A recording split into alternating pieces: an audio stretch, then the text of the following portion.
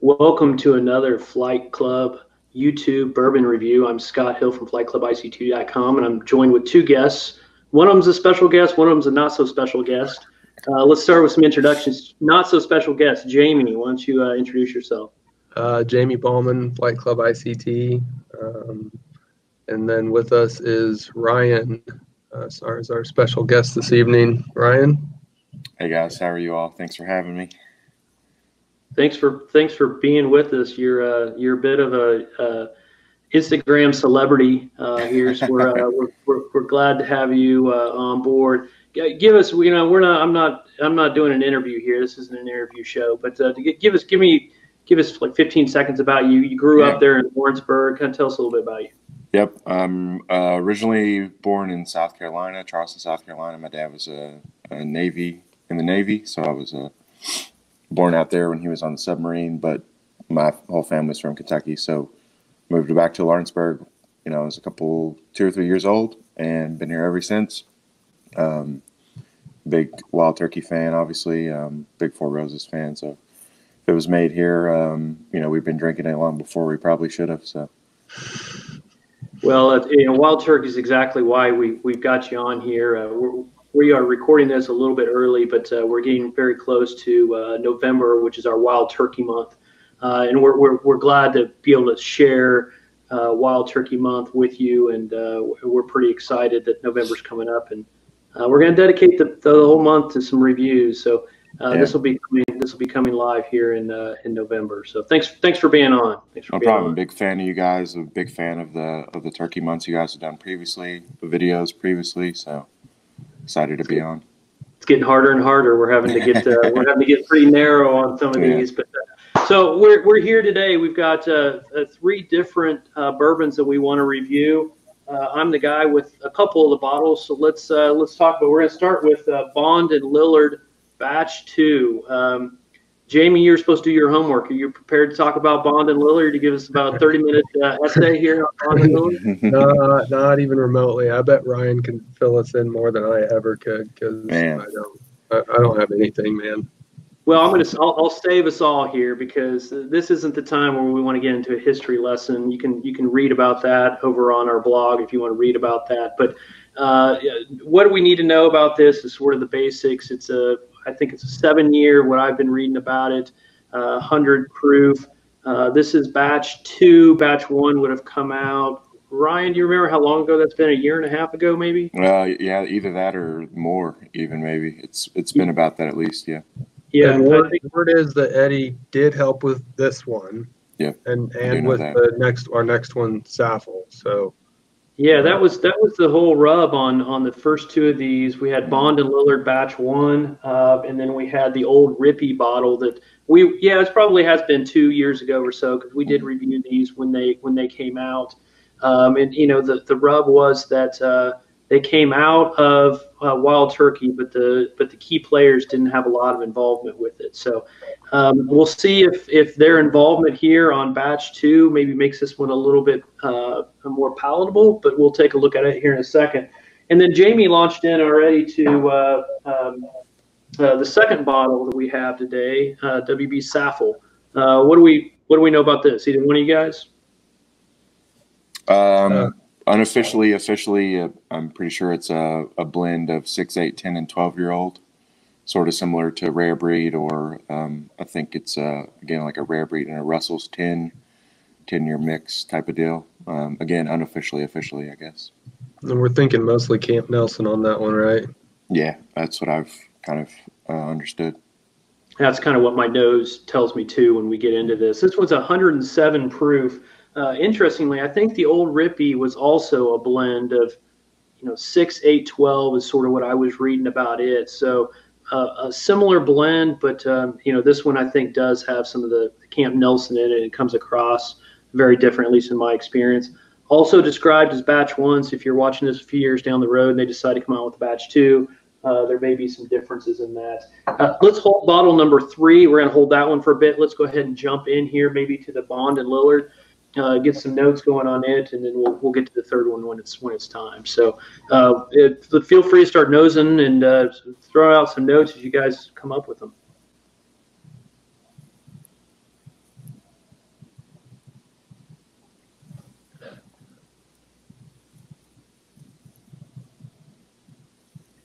I can't tell if it's more stone fruit or grape that I'm getting on that.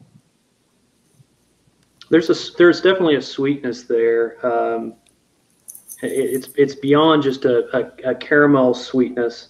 Uh, it gets to the to the fruitiness, but I'm, I'm it's it's a little bit floral, a little bit vanilla.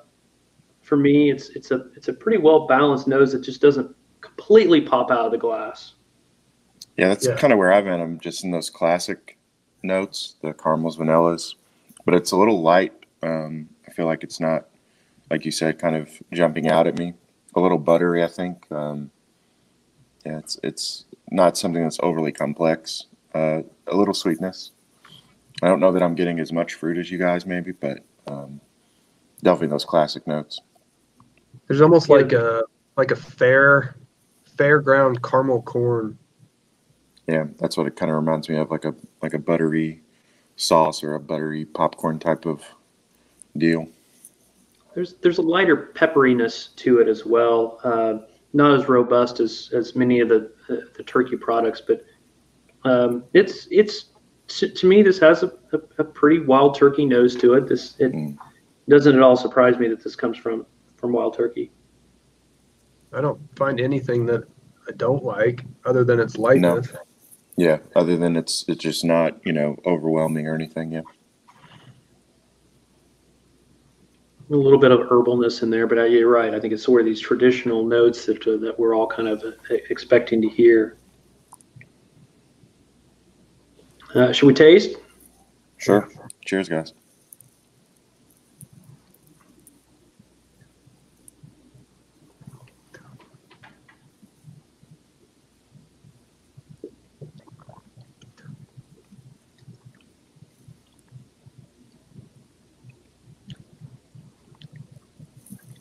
I feel the sweetness and the heat really do ramp up after the the, the first hit on the palate.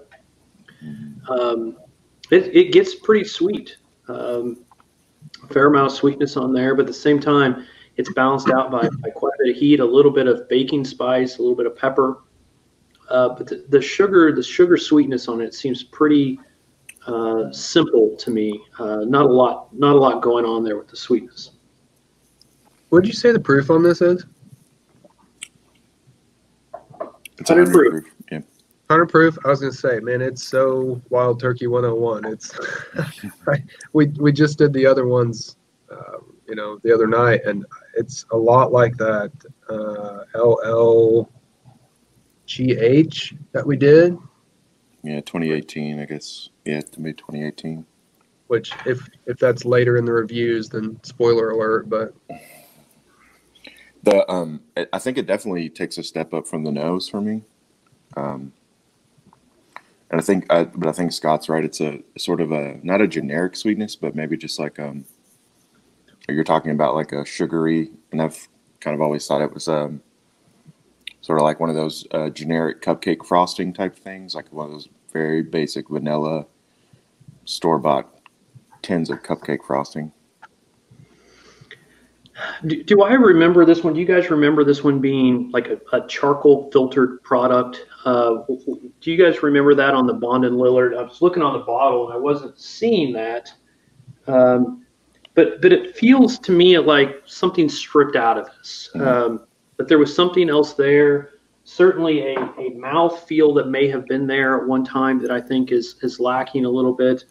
Um, and and I think it just it's has toned down spice and fruit character that I would expect at at 100 proof. I, I feel like I get a little bit more out of uh, you know standard 101 on sort sort of that boldness than I get out of this at 100 proof. I agree. I mean, it's good, but again, it's just real light. Yeah. Um, it's got the boldness right there at the right when it hits your hits your tongue, like right at the beginning, and then it's a pretty sharp drop off for me. Um, I don't know that it's. I don't think they've come out and said publicly whether they've chill filtered these or not. I've heard though that that Saffell, uh, which we'll talk about next, was non chill filtered. I've never heard anything about the Lillard stuff though. I'm really starting to get a little bit more character on the finish. Uh, some dry oak, Um, there's a little bit of, of, of, tannin that comes across on the finish and gives me a little bit of, of bitterness. Uh, that's, that's not a that's not a bad offset to some of the sweetness that you're getting on the palate. Mm-hmm. Yeah, it's um, you're kind of talking to like it's a nice little um, you know, direction for it to take. Um, yeah, What's, I, I, I don't uh, mind that at all. What's MSRP on this one? Uh, I think they're all about 50. For a 375 reminder. Yeah, for a 375. Yeah. This, I mean, I'm going to say this guy's lacking. I don't disagree with that at all. I mean, I think this one, you know, we're, we're kind of jumping around here where we might give some scores and values and that sort of thing, but this one hits well below its mark at, at a hundred dollar yeah. bottle. Um, it, it, it's it, it's a, a decent pour, uh, but it's not one that I would reach to very often. Um, it frankly wasn't one that I was super excited about going out and buying, having tried batch one. Yeah, I'm glad we um, made you do that one. Yeah, I have a similar reaction to batch one.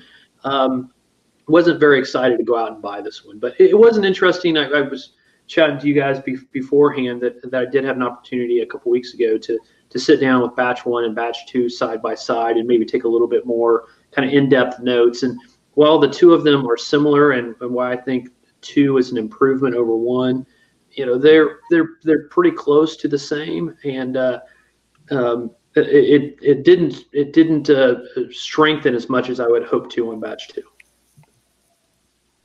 Yeah, I agree. Any other notes that you guys are catching on that on that finish? I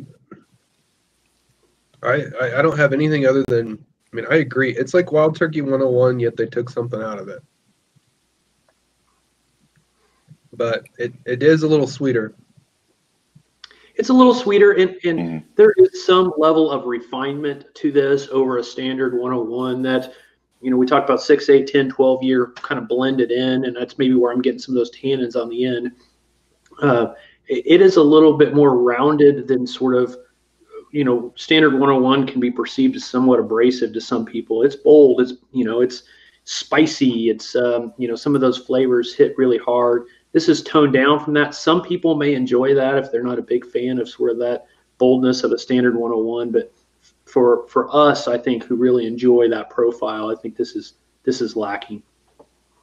Yeah. Again, it has just a hint of it right on the mouth for the beginning of the mouthfeel, but then it kind of falls off and it, it does veer into the more sweeter, sweeter notes and sweeter category than a, a typical 101. So Ryan, you may be a, a, bit familiar with our scoring system. We have a five point scale, and you know a, a three uh, is satisfying. A three is a is a good score in our mind. Uh, it's what we would expect. Um, nothing uh, exceptional, but nothing that we want to to turn our nose at either. Uh, Jamie, we'll let you lead off of with some scores. We typically go uh, nose, palate, finish. Jamie hates that we do the palate finish separate. Uh, I know I'm going to take that from you before you say it, uh, and then we'll kind of get some overall scores, and we can finally hit on that value. So why don't we just start with nose and kind of head back to that, and kind of give me your thoughts there on the score, Jamie. I'm going to add um, vanilla cake to the notes before I give you my scores. Um, but it's like it's like a birthday cake that not not chocolate like vanilla, but um, nose two and a half, palate two and a half, finish two. Ryan, what's your reaction to I'm, that? Where, I'm exactly. I've got it written down right now. Two and a half, two and a half, two. Um, yeah the finish is where it, it really lacks for me. It's pretty short for me. I don't disagree with those scores. I, I think our overall evaluation, while we kind of score the the palate and the nose the same, I think there's a little bit of an uptick there to the palate than the than the nose, but it it drops off pretty hard. This is not what I would want in a finish. Um, I mean, it's not offensive, but just it's it's not something that really is is satisfying to me. I, I'm I'm good with those scores. Um, what may be interesting to go back and compare the scores that we had with the original because these may score a little bit lower, but I think our expectations may be just a little bit slightly higher now. Um, and, and, I think if I were to go back to, to batch one, uh, maybe a little bit more critical than I originally was on it. I, what do you I think, I think my biggest problem with Bond and Lillard, I, I mean, if this was the same price as Wild Turkey 101, I would certainly pick it up. And it, it's it's interesting. It's different than than their typical 101 and on some nights like you said where you don't where you just want something easier to drink because you come home and uh, the first thing you do you, you don't always want that harsh 101 sometimes a smooth drink is nice and I could even see putting this in the fridge and having it on a summer day or something. It'd be it'd be good cold, but um, yeah, again, uh, the only problem I got with this is the price point. Yeah, there's not very many people that I hear describing their love of wild turkey and ever using the word smooth or or, or light or easy drinking. And so it's it, you know maybe there's a little bit of a different audience that that might appreciate this than the standard wild turkey fan. So yeah, yeah, totally agree. I I still say give it a try. I mean. Mm-hmm but uh, so are we two and a half overall? Probably. I think that's where I fall is, is, is probably a two and a half overall. I know the the the note or the uh, the finish does fall a little bit from there, but I'd be have a hard time saying I'm all, all the way down to a two on the on the total experience. Agreed. I've I've got two and a half written down um, as far as overall goes. Yeah. Now we now we uh, now we slap I'll let the value. um, this is this is a tough one. I mean, it's uh, I know prices are creeping up, but uh, hundred dollars to me for a 750. I know it's 50 for a 375, and for that for that fact that they're selling it at half the size and you don't have to shell out a hundred bucks, it may be a good thing. Uh, but what do you guys think? You know, at that hundred dollar price range for a 750, so we can kind of compare apples to apples uh, Ryan, where do you think you're at on that? Um, I'm definitely below a two. I I sort of did a sliding one one and a half to two. Um, it's it, it's very tough for me. Um, I don't even know what price it would be good at for 750. honestly, not you know if it was, uh, it's it's better than something that's you know fourteen dollars for 750. But uh, yeah, I'm probably at the one and a half, one seven five scale. I I think the problem is is we're comparing it to wild turkey as yeah. opposed to comparing it to all bourbon. Um, if you compare it to wild turkey and the value that you get in their stuff and all of their stuff across the board, um, I think it ranks really low. I'd, I'd give it a two. I, I, I'm less than satisfied at the price point.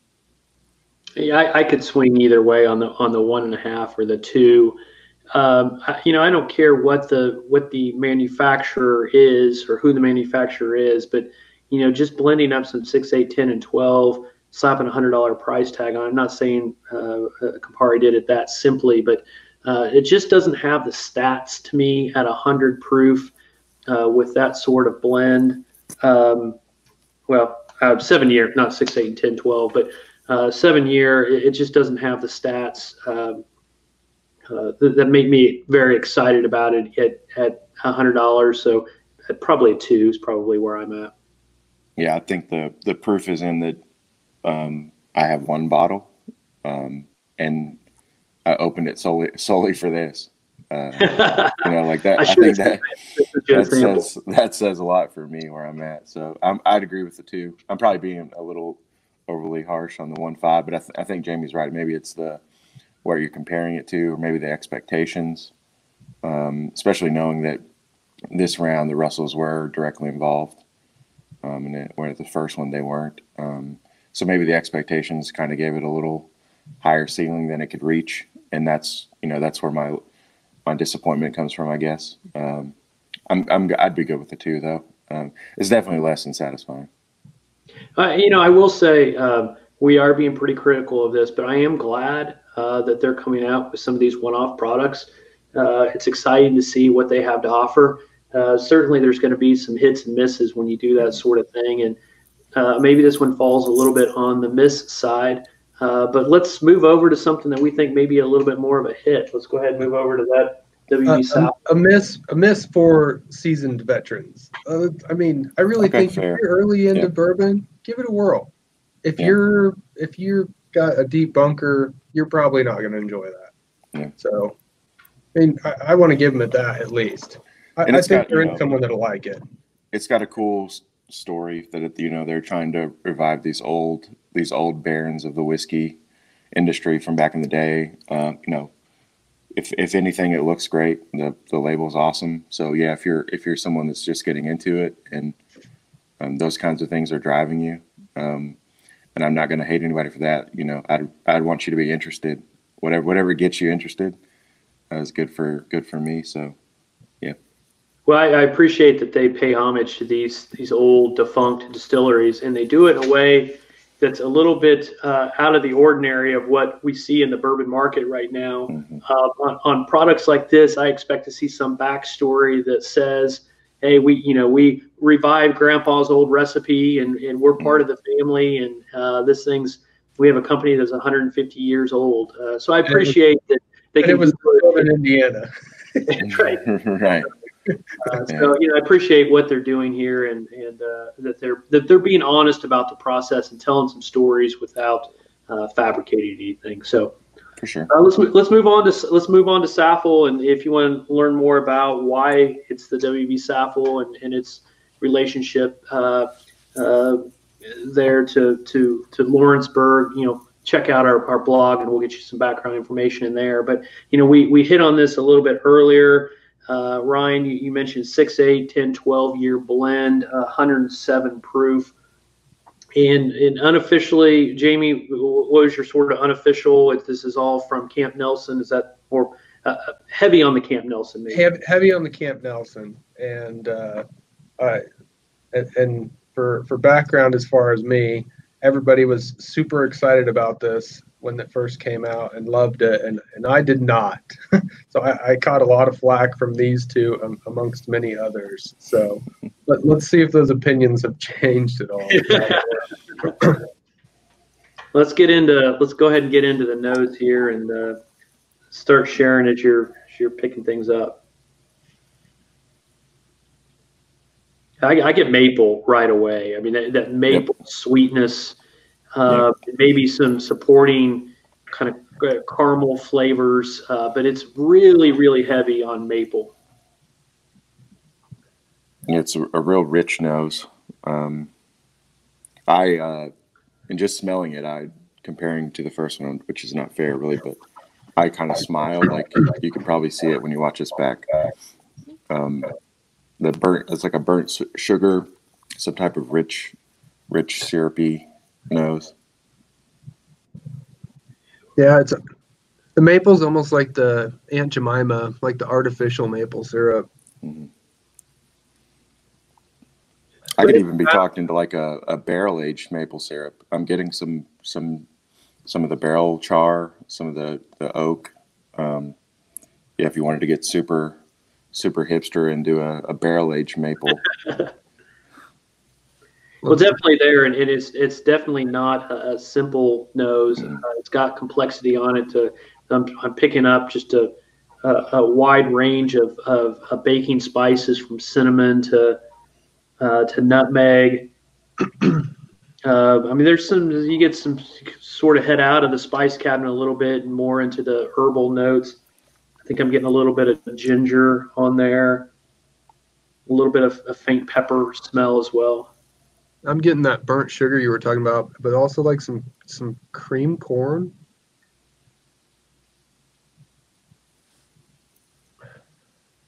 Is there some citrus there as well? it's it's citrus, there, but it's like grapefruit.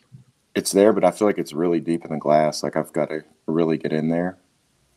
Um, but I could be talked into some type of like a maybe like a darker red fruit or something. Blood orange is what's coming to my mind, but it's it's deep in there, and, and I'm not sure if that's quite it or not, but it's it's pretty deep in there. I said, I said grapefruit, which is pretty close to blood orange. Yeah. So. Yeah, it's good. V- vanilla vanilla beans, some custard in there. Um, Smells it's- too it's- going in.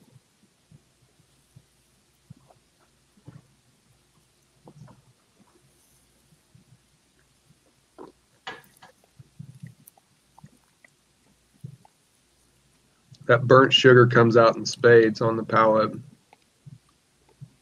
and finishes with just loads of caramel. I think this has got the um what we were what the what the Bond and Lillard started with, and that typical wild turkey kind of punch. This one just has way more of it. Um, you know, it's got a um, just it coats your mouth, and with that sort of a spiciness um, that they're kind of known for. Uh, call it uh, uh, if it's the the you know Like a I white in- pepper. yeah, in the in the um maybe in the wild turkey like core fan group or whatever we've called it the Camp Nelson prickle, like it's there. Um you know, way more noticeable uh on the mouthfeel. there, there are times when you pick up a flavor all the way through onto the finish um, that are so bold in a, in a particular area that it, in, it it tells you that it was there before and you go back and you find it uh, pecan pie um, after i get through that finish i'm just getting a ton of pecan pie um, that just sort of increases a little bit in the nose a little bit more in the palate and then just uh, really bold into the into the finish a little other nuttiness on there as well. Almost, I was gonna say really nutty. yeah, hinting almost at some peanut butter. My initial reaction was like a Reese's peanut butter cup, and then sort of that uh, pecan pie kind of took over for me there on the end. Yeah, I can definitely get that like warm warm pie out of the oven, that crust, definitely some nuttiness. Yeah. That first one you you struggled to to describe any note, and this one you can call so many things. It's so full of flavor on this. Mhm. Uh, it's uh, I'm I'm, move, I'm moving on to the ship, but I, I still struggle with that. I don't know that I'm gonna let you on, man. It was, That's all right. I still got plenty of ruffles. a, a ton of baking spice um, uh, on this. Um, uh, a little bit of clove there through the palate and the finish. I'm getting a lot of ginger in there as well. Um, a little bit more herbalness than just sort of that that ginger flavor. I sometimes associate it as much as a spice as, as an herbal flavor. Um, but that, that sort of carries the palate all the way through to the finish. I might even be able to talk into some. Uh, I read wrote down or written down. Um, it's like maybe some leather notes, just something that's um, I don't know, sort of dark and old school about it that reminds me of my grandpa or something. Definitely, and, and for me, it's it's uh, more on the finish. It just sort of Yeah. develops as as it goes, and yeah, there's definitely some uh, some leather there on the finish. Um, I get some like some cigar wrapper on the on the nose. Yeah, I, I could definitely be talking to some type of tobacco-ish um, leaf wrapper or something like that. Yeah. Jamie, I think I mean I think you said it. I think uh, uh, this has just so many layers of complexity. I think honestly, you could sit here for 30, 45 minutes and just continue to identify flavors uh, that you're getting to this, and that's I mean that's a that's a beautiful experience. Right. I, I think we'll lose all our viewers if we do. The finish, man, uh, I love the finish on this one. It's a probably a a good forty-five second finish, or maybe even a minute. Like it really sticks with you. Um, it's not an abrasive Kentucky hug, like it's not burning my chest deep in my chest, but it's still coating my mouth and my gums. I can still, you know, lick my lips and, and kind of do some stuff, and, and it's still there. Uh, that prickle, especially that Camp Nelson prickle, we call it, and yeah, it's a it's a a big step up in the finish and the finish from the first one. Yeah, that, that that prickles there, and it has just a mouth coating feeling throughout the whole thing. I mentioned sort of that peanut butter cup, Reese's peanut butter cup before, and while I do get sort of some of those chocolate peanut butter uh, notes throughout the experience, I get more of that just feeling of that that mouth Peanut butter in your mouth, sticky. yeah. Yeah, It just you're it just like- hangs there. Um, and I you're need a right. drink of water to like wash it, you know, to get it off. Yeah, that's that's where it, that's what it has. Yeah, you need a drink of water, but Peanut I don't brittle. yeah, Peanut brittle. It's almost like you Yeah, okay. you're chewing on some peanut brittle. Yeah. And it's just hanging there. Mhm. Yeah, fresh out of the oven, a little warm. Yeah. Well, who's leading this one off?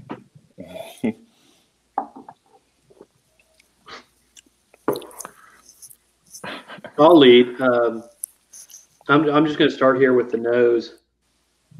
I'm a solid four on the nose. I, I mean, I think it, it has a lot of complexity to it. Um, the proof is, is spot on for me. The, there's there's not a lot of burn to it. Uh, you're not overwhelmed by any of those, uh, you know, cinnamon or spice notes or peppery notes. Uh, it just has a lot going on with it. It's just a very pleasing nose. Jamie? I'd I'd four as well. Sorry, skip you, Jamie. I had four No, no, on the on the nose. No, I didn't know if you were going all the way through. Yeah, I, I'd agree with that. I'm three and a half, four. You're coming around. I, You guys know that my problem was always the price point, and I I think it's because we're spoiled with so much good Russell's Reserve. But Right. we'll see on the next one. I struggle between the palate and the finish on which I enjoy more. And I'm not sure either one of them rises to the four and a half level. For me, a four and a half is uh, is a very very good score. Um, you know, there are very few fives out there in my mind. This starts approaching the four and a half. I would say for me personally, I think I like the finish better than the palate, uh, but they're awful darn close to one another. I could probably go four across the board on this, but I could also on the palate and finish possibly go up to that kind of four and a half range. Yeah, I agree. I was I was um, right right now I'm at four across the board, but I think when I when I was preparing for the the last one we were going to do, um, I think I had put the finish at four and a, four and five, and I think I scaled it back to about four across the board. I'm I'm really happy with that that score. It's so much sweeter at fresh pour because I just filled it up, and then those darker leathery notes kind of develop as it opens up. Um, so it kind of mutates, which is always fun. But Yeah. I know that's a sidebar. Mine had Um, been sitting too. Like mine have been sitting for probably a good 15 minutes, maybe or something. Like so, that could be, um, could be a, another one. Yeah, but I like that. Um, you know, get it straight right out of the bottle, and you might get something, and then you kind of let it uh, take a sip, and then you kind of work on something else or get distracted, and you're like, oh, I've got some bourbon here. Ten minutes later, you can kind of uh, that's where it kind of takes you on that on that train. Um, you know, different different routes. If I were left with that mapley sweetness that you first pick up on the nose that develops into other things, I wouldn't be offended by that in any way. Uh, but how it does develop really, I think, draws that score up. Well, and again, that fresh pour, like that maple, really carries all the way through it. But because, like I said, I just filled up. But um, it's interesting and, and ever changing. I, I'm four across the board, four overall. Um, it's a good bourbon. Well, well, you had your admission that uh, you weren't a big fan of this at the beginning. Um, Camp Nelson generally has been one of those that I've been uh, slow to respond to. Um, it just wasn't something that, that initially hit me quite right, or at least the ones that I that I tried. Um, in isolation, some of those have some flavors that that are a bit off-putting to me, but I feel like I get that Camp Nelson vibe out of this one without having anything be overwhelming or offensive to me. This is this is one of the best Camp Nelson products I think I've had out there. I'm I'm a, a, a solid four on this. Uh, I'm really enjoying this. Uh, the the Camp Nelson really, I was slow to come around to it too. I mean, a couple bottles that I had, the first couple pours, and last year, I think the couple that we rated last year uh, that Eric and his group picked, I, I think may have been unfair ratings because maybe we just weren't ready for it coming from Wild Turkey B and D and H backgrounds where everything's so sweet. Um, but and I really enjoy the Camp Nelson stuff. I, I, some of the recent ones I finished were Camp Nelson A, even, which isn't most people's favorite, but you find a good one, they're great. But I do think that they they offer, and and I've had plenty of other Russells that I think if you want to call it off profile, I don't really like to say that because what does that really mean? But um, there there are things that you do find in Camp Nelson's that you don't find out, like that you were talking about. I've had some that there's just something about them that I've never found in a Russell's pick, and I think a lot of people were finding that, and so maybe it wasn't uh, as appealing um, as what they were used to, but um, they've come around a lot, and the Fs especially. Um, you know, that's kind of been the what's been available for for picks. Um, you know, the last year, over a year. Um, the A's, I'm still not even super fond of. Not found one that I've absolutely loved. Uh, even tasting it right out of the barrel. I've not, you know, kind of been in love with any of them, but um, this one, and I don't know. Again, I don't know how much Camp Nelson's in it, but it seems to be less off profile than what I've found in some of the other offerings from there. Um, a little more classic turkey, but uh, which is you know pleasant. Yeah, I think it's it's a good uh, a good mixture of the two um, profiles, if you will. Mean, nothing's really off profile. You're, you're exactly right on that. Um, but it's a good mixture of the two, and and would be a, serve as a really good introduction for a lot of people yeah. who are that Camp Nelson profile. Mm-hmm. So I'm four four across the board. It sounds like we are maybe all in this kind of same place on the on the overall score. Uh, get getting back to value, uh, fifty dollars or so a bottle. I, I, in our market, they held pretty strong at forty five. Now uh, keep in mind. Let me let me let me say this: when um, Old Ripy and Bond and Lillard came out, batch one came out those did not come to Kansas, as I understand it. So we did not have a local market on those. But everything that came out the second round with the Bond and Lillard batch two and the Saffell seemed to have a pretty fair market price around here of about $45. Is that what you were seeing as well, uh, Jamie? Um, yeah, that's what, what I saw them, you know, after we, we bought ours elsewhere and overpaid for them. But uh, yeah, uh, I think there's still some on the shelves around here at 45. So that's a. I've seen them both. I've seen them on the higher end. Um, I think the highest I've seen was 56, and then the lowest I've seen was 42. Um, so yeah, it's kind of. Uh, but uh, I feel like for the most part, it's in that 49 to 50 range. Okay, who's getting who's getting the facts? I think the wife is uh, is looking for light fixtures, so um, which is always good. Awesome. I can't wait to see how much this is going to cost that was me. Your, uh, your dial-up internet. Uh, that old old no, school that's, AOL my, internet. That's the sound of my money going out the yeah. door right there. Fucking throwing it. so okay, so we're 45, 50 around that range on on price. Uh, which puts us, you know, in that uh, 90 to 100 in in an overall 750 comparison sort of level. Let me throw this out there, Jamie. You and I did buy one, uh, uh not through a local establishment, uh, and I bought another one here after trying it. I bought another one here locally at at about 45 dollars. So I enjoyed it enough to go back and buy another one. So I mean, I, I think that by definition has to say that I'm at least satisfied um, I'm probably not up to that four like I was on all the other scores. It's nothing I want to go back out and buy a, a, a third and a fourth necessarily right now. But I'd say I'm I'm a three three and a half. I, I this is a this is a pretty good value in my mind. It's a it's a good pour. Agreed. Um, I think again this you know just kind of the proof is in it. This I think is my fourth bottle. Um, so I think if um, to really, I think if it were maybe if you're if you're judging it on that 90 to 100 scale, say if even an even 100, if it were twenty dollars less in that 80 range, I would be you know four and a half or a five or something maybe. But when I when I think about it, um, fifty dollars for a 375, eh.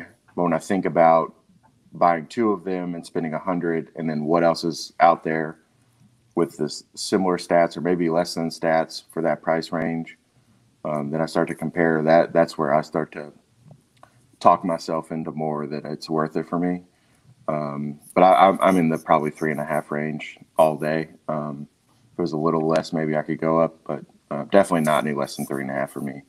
Well, let me ask you this: What is a uh, Russell's uh, single barrel going for in your market right now? What um, increasing a bit? Yeah, probably uh, 65 before tax. Um, so a lot of them I'm getting at, out the door in that 71 range, 70, 71 range. That certainly factors in. You know, we haven't had a, a single barrel store pick hit here in Kansas, to my knowledge, in a couple years. And the last few that hit, uh, we were uh, still able to pick them up even a year ago for the $40, $39 range, which was ridiculous. And when you mm-hmm. start comparing that sort of prices to this 90, it, it, it it's not as exciting. But as we're starting to see, even just standard yeah, I've seen Russell selling for 80 in places now. So yeah, even in our market, just a regular single barrel, we're in the 60 or so range for for most new product uh, hitting the stores. Uh, they don't move a whole lot at 60 around here for a, a non-store pick. Uh, but you start comparing this at 90 to, uh, like you said, 70 for a for a single barrel that might be a hit, might be a miss, uh, or if it's Camp Nelson, maybe as I described it, maybe that it, it's it's too Camp Nelson or does it has some of those you know flavors that we're not used to. Maybe this is maybe this is a really good alternative and a, and a pretty good buy for what you're getting. Yeah, agree. If I'm if I now if I'm getting a, a single barrel pick from some from some trusted people that I know have done solid ones, um, I'm willing to go into that 80 range, and then this kind of loses its value. Um, yeah. But um, you know, I I I could make an argument to myself that I would rather have two of these than a single barrel Russell's off the shelf, just out of a, a chain liquor store. Um, I think I think I could make that argument. I think I, I, I think I'd agree with that. I, I, think that if you got someone you know has a, a good picker, then I mean the the good Russell's barrels are great. Mm-hmm. Um, but not that this isn't great, but with the price point, um, and, and the price, like I said, the price point's changing. I mean, we were we were spoiled in our market with, like he said, forty bucks. Uh, that's a pretty hard comparison to that, especially it was a it was a really good D. Um, but in today's market, yeah, I, I, can't argue with a three and a half. So now, now Ryan, um, do you have any suspicion, insider knowledge, belief that the Whiskey Barons collection is going to continue and whether that would include a potential batch two of the Saffell. Do you have any? So again, unofficially, officially, I've not heard anything new about a new version or uh, even a new, um, you know, Whiskey Baron that they're highlighting. Um, but I'm, and I, I don't know that it's even going to be called batch two. Uh, maybe it will be, but I, from what I understand, yeah, they are doing more of it. Like a, it's a, it's officially, um, and I know this because I work at a work at a liquor store, so it's officially on the allocated. Like it's you can't we can't get it anymore. Um, but from what I understand, they're bottling more of it. Again, that's completely unofficial. Um, but and I, again, I don't know if that's going to be batch two or not. Um, my guess is that it's that it will just be you know, a second run of batch one, I guess. I don't know. Um, yeah, I don't know. And Turkey's the only brand that I have ever seen that will throw a batch one onto every single product that they ever come out yeah, with. All the no real indication of a batch. All the Master's Keeps have batch rare, one, and the only one that um they got a second batch was Decades. And the rare breeds, and, multiples yeah, over yeah. forever. Yeah, they were. They, it seemed like back in the day, like in the early, you know, early '90s, they were changing you know, every year. Um, and then they kind of hit the lull in the early 2000s and and then switched again, kind of on us. Uh, yeah, I, I don't know that. Uh, I, I do think, though, that they've seen a lot of success with Saffell. Um, so it would not surprise me if they're going to do another run of it or, uh, you know, whether it'll be batch two or not, I don't know. But um, again, I think they've seen a lot of success. Yeah, it's, uh, it, you know, they could put it in one of their fancy boxes and I think do pretty well with it. Uh, a- I was, um, I've always kind of said that, and I think I've told Eddie this several times that I was, I was pissed that this, this didn't have a turkey on it. Like I was upset that this was not like this was in the whiskey barons line and not uh, a wild turkey, a limited release or something. Uh, I felt like it deserves it. Um, I know he worked really hard at it. He's super proud of it. Yeah, um, so, well, should should be. It's, it's, yeah. It's uh, one factoid I did want to throw out. I don't know if people know this, but the um, uh, which you can. I don't know that you guys have written the, the history or not or whatever, but the Russells actually lived in the Saffell House um, when when I was in high school. When when me and Bruce were in high school, uh, it's a Saffell House is now, uh, which is the house on the on the label, the big mansion. Um, it's now a funeral home um, owned by a a friend that went to high school with Bruce and I, and um, but uh, when we were, I guess, juniors and seniors, they lived in that in the Saffell house um, for almost two years while they were building another house. Um, so yeah, cool little fun fact. Yeah, definitely. It appears there's a little tunnel down in the bottom corner. Yeah, there was a prohibition tunnels from back in the day, apparently. Um, where they were they were running stuff illegally during prohibition through those tunnels. Um, yeah, it's kind of the story. Awesome, awesome. That, that's definitely some info that uh, we would not otherwise uh, uh, have here. So thank you for that. So um, we ready to we ready to move on to our to our third pour here. I've been liking this one. I'm excited. All right, so uh, Jamie Ryan, probably Ryan, why don't you why don't you tell us a little bit about this bottle of, of Russell's Reserve Single Barrel? Yeah, for sure. Um, I'll I think Jamie hinted at it, but I'll show the tag um, right here. Uh, so this was a pick that I did. Um, guess it's been over a year ago, last August, um, with a local um, kind of a call it a boutique whiskey bourbon shop, Justin's House of Bourbon in Lexington, Kentucky. They specialize in vintage and rare whiskey. Um, but um, I've become pretty good friends with them, and uh, full transparency, transparency, I work for them now. Um, but I um, I became kind of good friends with them, um, and they inv- they invited me on a barrel pick. Uh, just so happened to be the day uh, the day that we were doing the pick was my uh, girlfriend's birthday at the time, um, and so uh, we had we had been dating for a couple of years, and so that I kind of approached them about hijacking the pick and turning it into a, an engagement uh, proposal uh, type of deal. They were super excited. I was really appreciative that they let me kind of steal the show with that, and um, so yeah, we we uh, that was the first barrel pick I had been on, um, and was really really cool cool experience. So we, we tasted barrels all day, and then at the end of the end of the day, um, popped the question on the front porch at Warehouse A, right there. So um, this was one of two barrels we selected that day. Uh, we took this one, and then we took a Camp Nelson, uh, or uh, sorry, a, it was another Camp Nelson, but it was a, actually it was a, um, I forgot now, but it was a, it might have been a K, uh, but it was we turned it into a Kentucky Spirit. Um, we really liked it, uh, especially after adding some water to it. So, yeah, this was one of our two barrels that day. Um, it took forever to be bottled, man. It was almost like an eight month. Like I don't think we got them until March. Um, and what your what your tag say on the Kentucky Spirit? This, the Kentucky Spirit, we called it. Uh, she said yes. Um, yeah, Justin's House of Bourbon. She said yes, and um, yeah, it was a super exciting day. Um, again, it was the first barrel pick I'd been on, and shout out to those guys, uh, Justin Sloan, Justin Thompson, um, two kind of uh, guys from Lexington, that have been in the bourbon scene for a long time, and uh, they kind of let me steal the show again. And uh, yeah, super excited. Well, we're excited to, to get to try yeah. this and certainly try it with you. Uh, Jamie, you, you have you have a bottle. Cheers, cheers, definitely to that. Yeah. Uh, Jamie, you have a bottle. You gave me a sample. I'm kicking myself for not not working with you to get get a bottle of this for myself because it's uh, uh, just just sitting here nosing it. It's it's fantastic. It's a great story. um, and that's that's a bit of what this is all about. So I'm assuming you know these these went pretty fast, and and uh, Yeah. uh, we're, we're we're seeing these uh, you know pop up on on Instagram feeds of, of people enjoying them. But uh, other than Yeah. that, that's that's we're having to enjoy them from afar.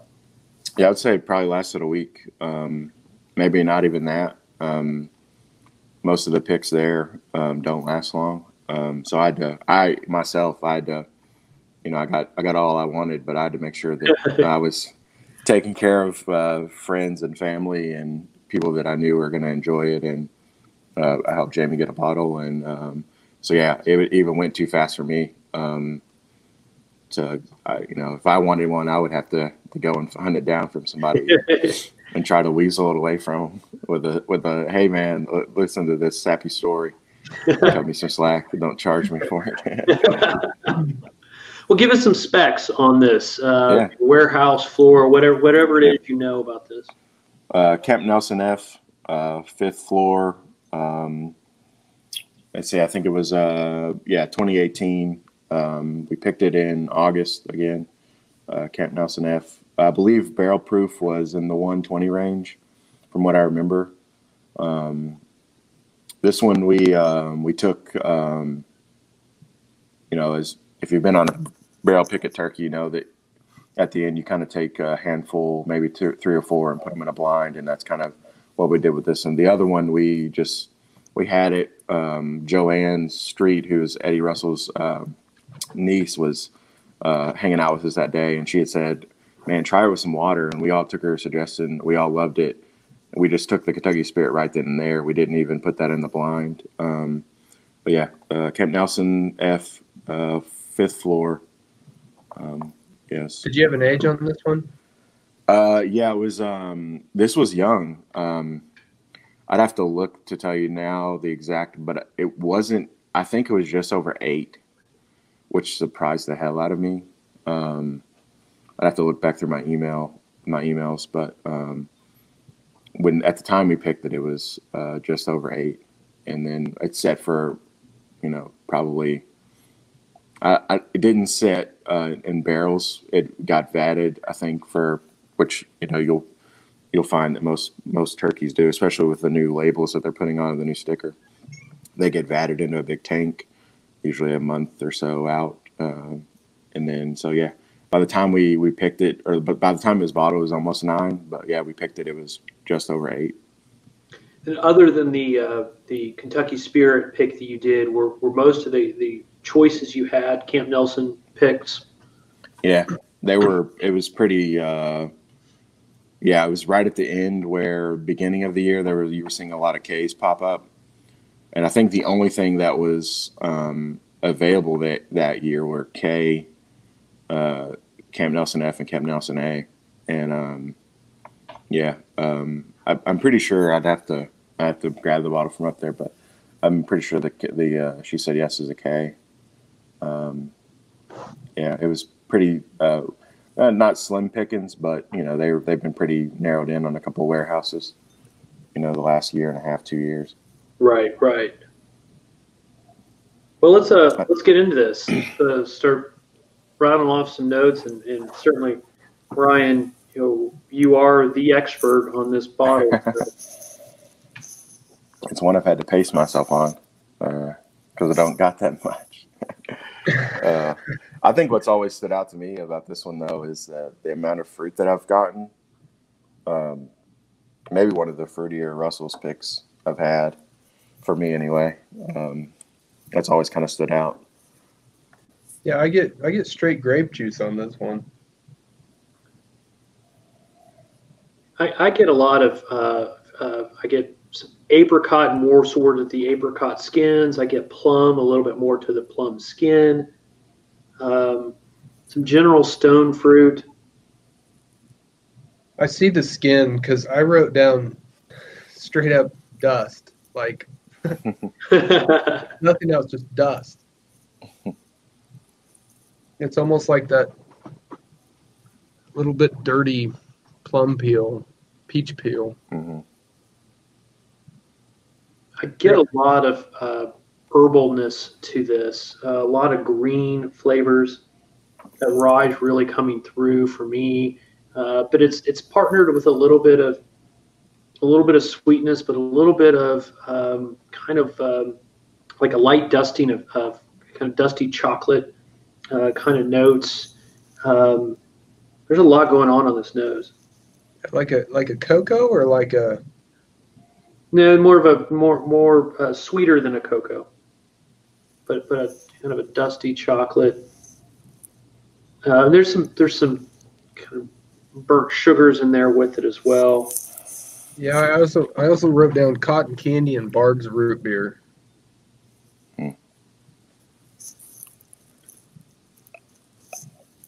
There's a there's a cola note there, or, or in that family. Um, Mhm.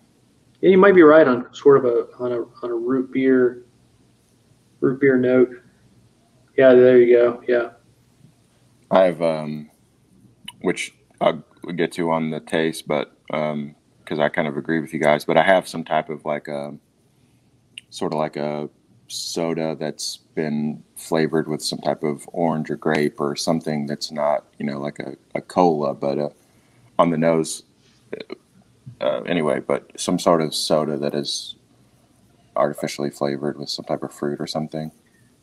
there's an effervescence to the nose. Um, uh, it's not a it's not an alcohol burn by any means. It's almost like a I think of it more of like you get it with you know a, a fresh glass of like soda water. You just get that effervescence into your Mm. nose, and I'm really just getting that. It kind of opens up my nose as I smell this in a really good way.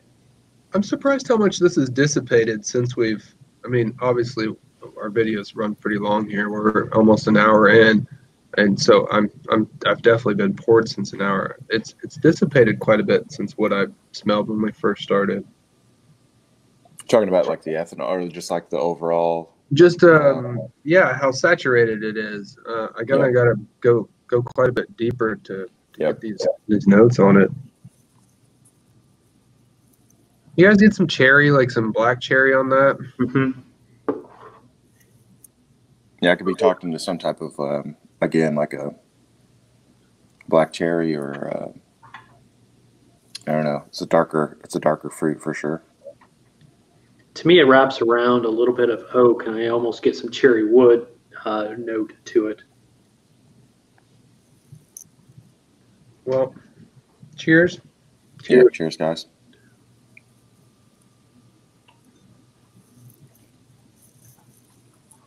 Mm.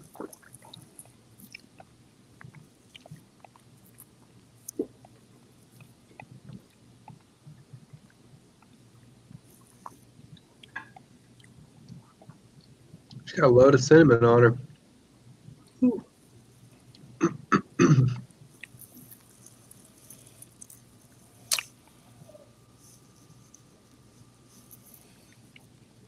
Yeah, it's got that prickle that I've I've come to love with Camp Nelson. Um, again, it's just uh, right there in the front where you're gonna get most of the stuff with wild turkey and those. It's that it's that point where someone who's um, not a fan of it or is not experienced with it could be turned off because it does kind of hit you pretty tough. Um, but you know, I love it. That's why you know I've loved it forever. So. How would you describe the mouthfeel on this? Super oily. Yeah, I get almost like a almost waxy to me. It's a very coating. Yeah, it's a little thick. Um, uh, what would you call that? Viscous, I guess. Mhm. Um, you can kind of see the legs on it are pretty, you know, pretty run pretty long. Um, yeah, it's it's very it's very coating.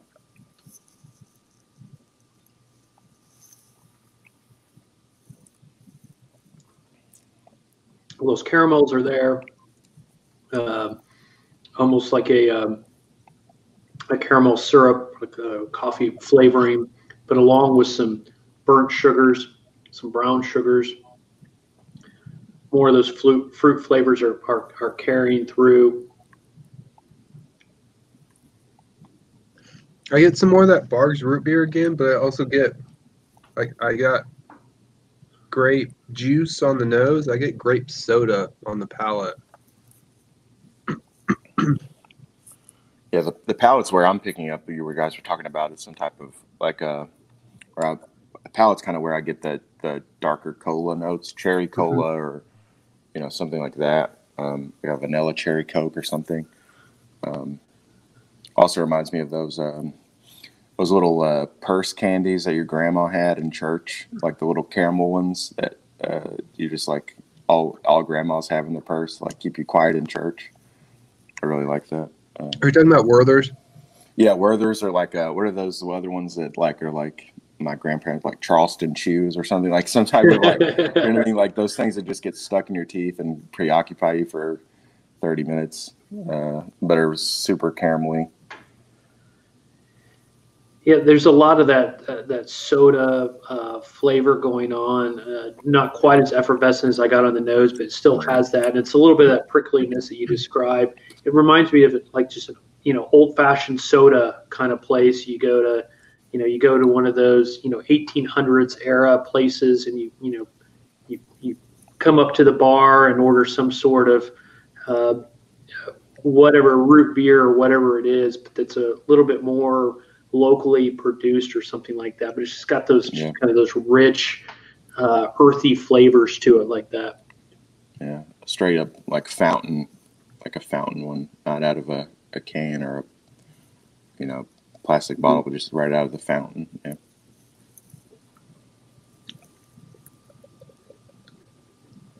Some sweetness picks back up on the on the finish. Um, I started getting a hint of what I think is like a bubble gummy flavor, uh, but it, it, it stopped short of being quite that sweet with some of those baking spices that take back over and some of those darker fruit root beer flavors that kind of pick back up. But it it, it, it leans back up towards that uh, kind of that the sweeter tones there at the end. For on the finish, to me, it transitions almost into like a like a molasses. It's so thick and Mhm. mouth coating that um, it's sweet, but so thick and oily that, like I said, it reminds me like molasses. I think it's a.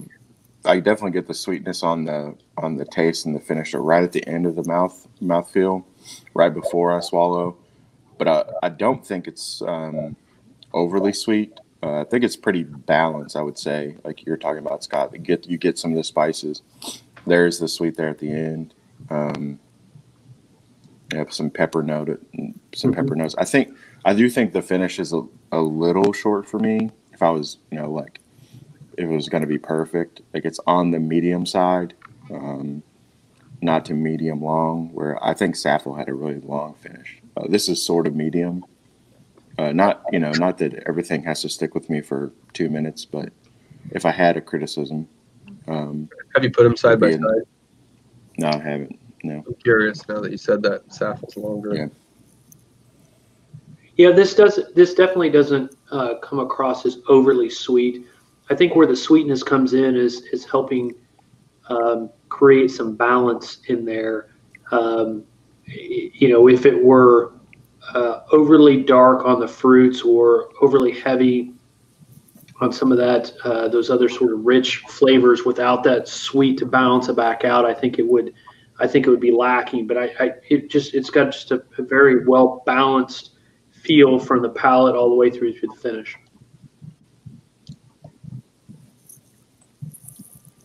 I think you're right. Saffell's got a, a longer finish. It just goes Just, on and uh, on and on. yeah, it's a it's a twinge longer. Um, again, not that I need everything to stick with me, but that is a you know characteristic that I like. So if I was being critical, uh, that's where it does. Which we'll get into the scores, but that's where it does kind of fall short for me a little bit. It's just right there at that back end.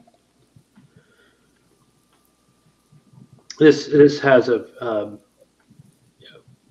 something that I'm just sort of not used to with the with the, the Russell's picks that I've had before, other than the Camp Nelson. It's got that sort of um, a, it's the prickliness there on the finish that, that it's just something other than what I would expect from a from the Russells that I've enjoyed for the years prior. Uh, but it, it, it again, it's growing on me. Um, it, it's interesting to see sort of that develop on the palate. It's got the true Camp Nelson like profile, I think. Um, again, not something that's super. Um, you know, it's I've had some that are super interesting, like I said, and they're super off profile or whatever, off notes. But this one is that classic Camp Nelson. Um, what I've come to come to really like from those barrels, the, that what that that um, those that set of warehouses, um, what they offer. Um, yeah, it's. Uh, are you are you seeing many of these get proofed down to a Kentucky Spirit, um, or most of these being held for Russells? I think most of them are being held from Russells because I'm seeing. Um, I was just there two weeks ago with another group, and um, I think everything we were tasting was from the fifth and sixth floor. They're all in the 120 proof, and I'm just not finding it. To me, it's a gamble. Like th- there have been times where I'm like, man, I was I'm really worried about how we're going to go down from 123 to 110. I couldn't imagine taking some of them down to 101. Um, you know, which you know you never know, I guess. Uh, but I guess the the nerd in me is always worried about that. like, and we're adding a lot of water. Um, but I, I mean, I've obviously I had some that, um, you know, with with the other one we picked the same day. Um, I think it was a little lower now. I, I feel like I remember the barrel proof being in the 117 range or something, but still, um, you know, you're taking it down 16 points or whatever. So I'm finding most of them are coming out as Russells. Yeah. What do you? What is the? What's the future of the Camp Nelson? I mean, is it? Uh, do, do you think that it it will kind of always remain isolated for some you know Russell's Camp Nelson picks? Are they going to develop more products like the Saffell that uh, utilize it and balance it? Um, you know, there's only so much of this you could throw into a standard 101 and maintain your profile. Yeah. Um, I think from here on out, it's obviously going to be a staple. I mean, I know we've we've all heard of the stuff that's coming next year, and um, uh, I, I believe that we'll start seeing some Camp Nelson C. I think is what Eddie has said. Um, I don't believe F and A. Now they might have some that are left over. You know, like I, I know they've been finding uh, some some of the barrels from eight from 20, 2018 on recent picks. Mm-hmm. Um, mm-hmm. So um, you know, I, I, I think it's going to be a staple, and also too, um, I think we Camp Nelson has been been used more than we've known in the past. Now is sort of the first time where we're seeing it labeled as Camp Nelson. I mean, I know for a fact that there have been stuff that um, you know there were some picks that were labeled like Q or there was a warehouse Q, um, which was Camp Nelson, like it the those barrels came from Camp Nelson, and then they just did very minimal aging in Q. And um, but then when uh, you know the, I think the I think it comes down to the rep um, that picks what is on the the tag, mm-hmm. like you know what I mean. And so um, the you still see them some today where they just say F and A, and those are right. Camp Nelson. The early ones were all early ones in 2018 were all called F and A. F and A, and and so they didn't they didn't differentiate with the CN. So I actually think we've probably had Camp Nelson out there more than we've ever known, and and maybe that's our our biases or whatever um, that are going into saying that there's a difference. Um, you know, you never know. I guess um, they obviously they use Camp Nelson uh, rye in the new Master's Keep a lot of the cornerstone. I believe a lot of the nine, all the nine year was from Camp Nelson and the Rye. Interesting. Master's Keep Cornerstone. Um, so yeah, I think uh, we'll eventually see some of the other warehouses. I think they have five or six. I think there's six at Camp Nelson, if I'm picturing the layout in my head right. Which speaking of that, why, why do they not?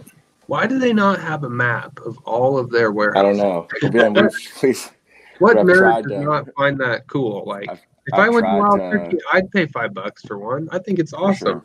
Like an aerial shot where they're, and I don't, I don't see how that could like, you know, that's not like getting insider information. Um, right. Do an aerial shot, label oh. them like a like an amusement park map. You know, you see those. Yeah, like I, want I want to see where the old yeah. Crow warehouses are. I want to yeah. see them drawn as the stone they are. Like, yeah. I think that'd be neat. Yeah. Um, yeah, so I think I think Camp Nelson's going to be around for from here on out. Um, you know, they they just got uh, introduced you know, in the last few years, and um, yeah, I think they're here to stay. We'll probably just start seeing the other three or the other four uh, more. Again, I, am pretty sure this Camp Nelson C um, is in the rotation next year, um, along with a lot of the Tyrone ones. Well, let's uh let's give this some scores, and uh, you know there there there will be occasions where I'd you know be here live with with the guy who picked it that I'd have some concerns with this, but I'm really enjoying this, and I I I, I don't have any concerns with with sharing my thoughts because uh, uh, they're all going to be satisfied or beyond. So, Jamie, what what do you think? You want to start this out? Um,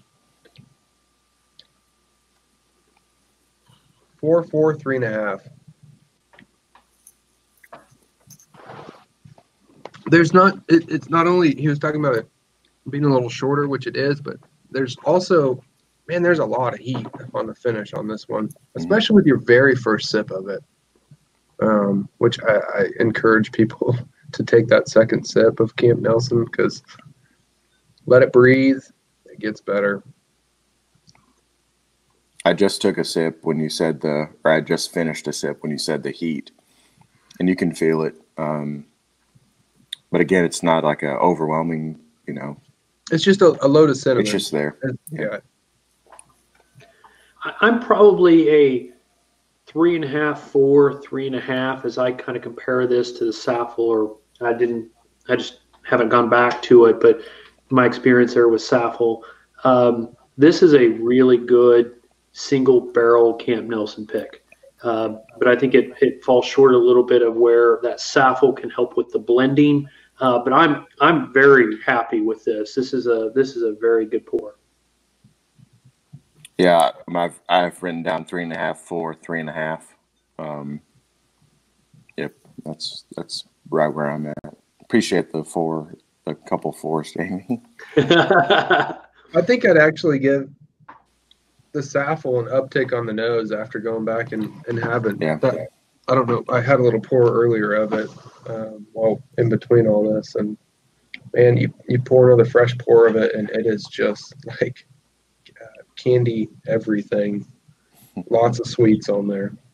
Jamie, I'm going to go back here about three months. I'm going to read you some text messages you sent me about WB Saffell. Um, and, uh, challenge credibility here, but yeah, you, you, back, uh, you know that my problem with it is the fucking is the is the price point. It's uh, and I, I like I said, it's we're spoiled with good turkey, and that's why. If you compared it to other limited editions, it's it's going to rank a lot higher. Now, I will say uh, the, the Saffell is a bit of what helped turn me towards an appreciate a better appreciation of Camp Nelson. So, I mean, there's a lot of things that, that goes out to that, but uh, um, I am definitely enjoying this pour.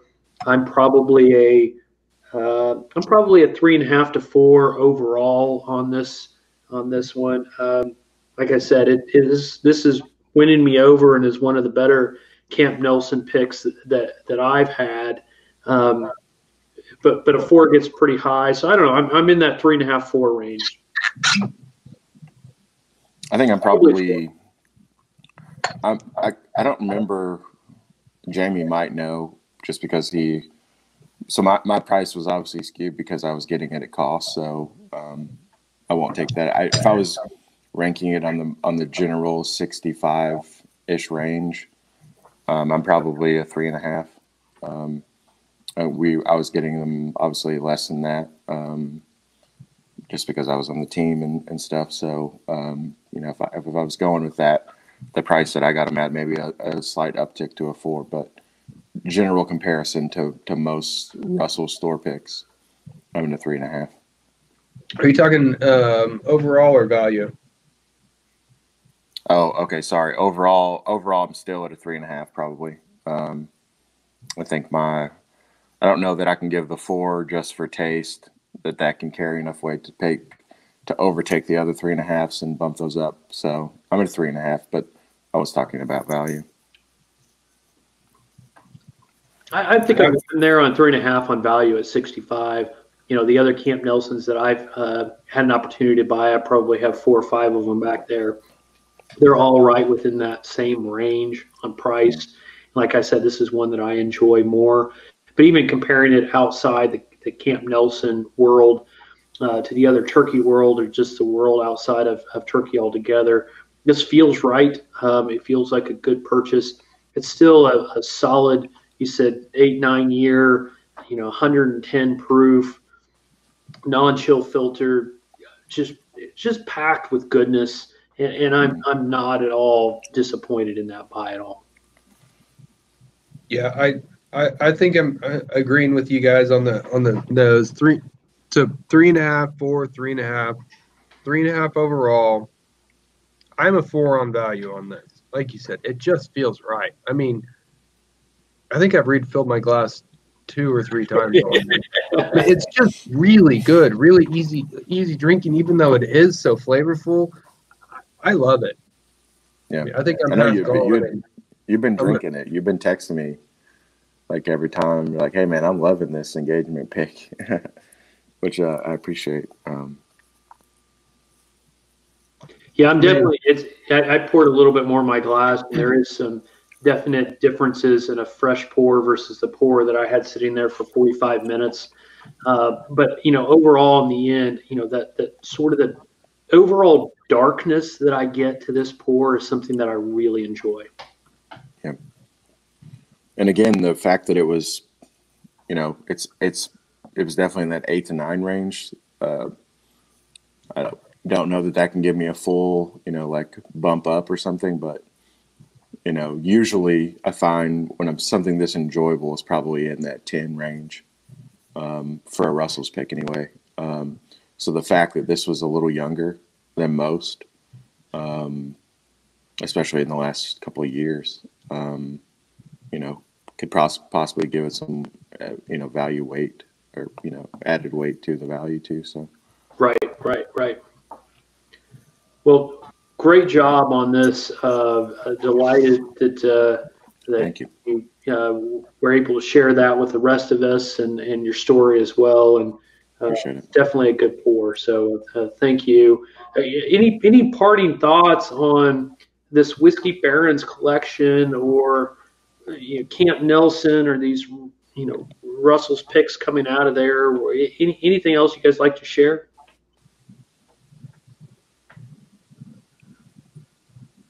Um, I, I hope that I hope that sorry, I hope that they continue with the the whiskey barons, especially if um, you know they're going to continue down this road. Um, I think they're going to have a.